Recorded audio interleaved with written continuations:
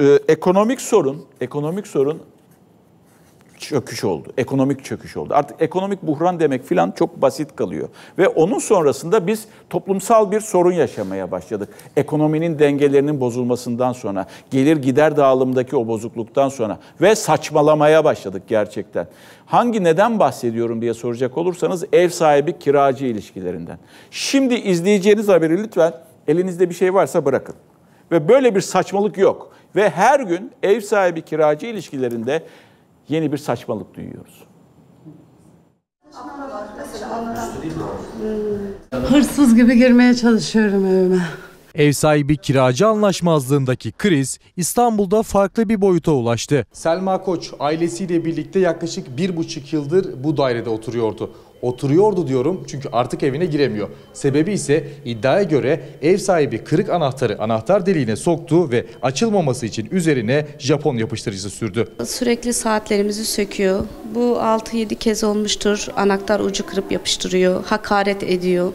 Gecenin bir yarısı eve gelip kapıya falan vurup küfürler, hakaretler ediyor. Bunları yapmasının sebebi iddiaya göre kiracıları bıktırmak ve evi yüksek fiyata kiraya vermek. Üstelik anahtar deliğine yapıştırıcı sürmesi de sadece Koç ailesine özgü değil. Herhalde 9 daire var. Benim bildiğim 3 kişiye yapıyor.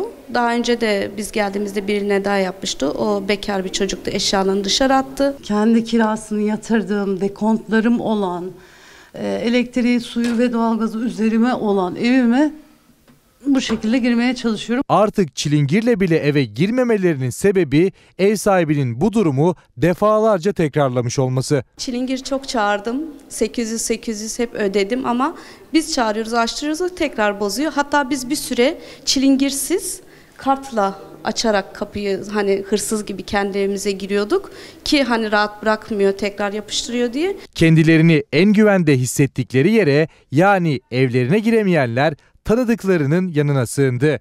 Giyecek eşyası dahi olmayanlar var. Bugün dışarıda yağmur yağıyor ve ben başkasının montuyla, başkasının çorabıyla dışarıdayım. Ben bir bayanım yani kadın olarak en tabii olarak eşyalarımı almak zorundayım. Mağdur kiracılar %25'lik kira artışının sebep olduğu bu anlaşmazlıklara artık somut bir çözüm istiyor. Bu kuralları ben koymuyorum. Lütfen bana bu konuda yardımcı olun. Sadece e, çözüm bulalım ya. Artık insanlar ölmesin, darp edilmesin. Savcı bana darp var mı diyor.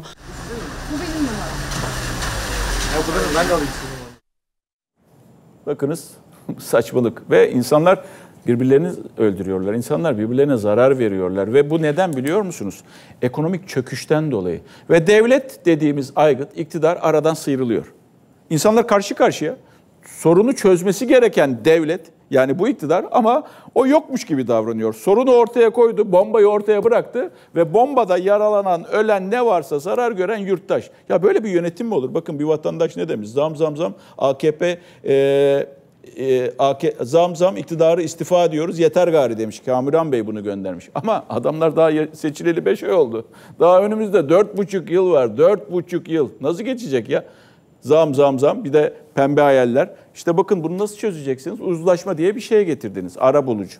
Çökmüş çöktü sistem zaten söylemiştik. Ara bulucu sistemi çöker işlemez diye. Çünkü her şey gelirle alakalı, parayla alakalı.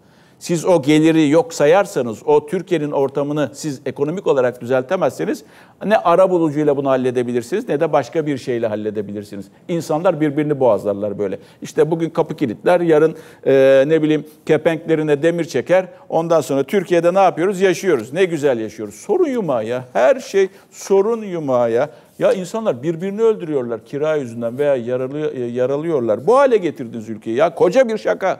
Gerçekten koca bir şaka Türkiye. Çiğdem'in dediği gibi.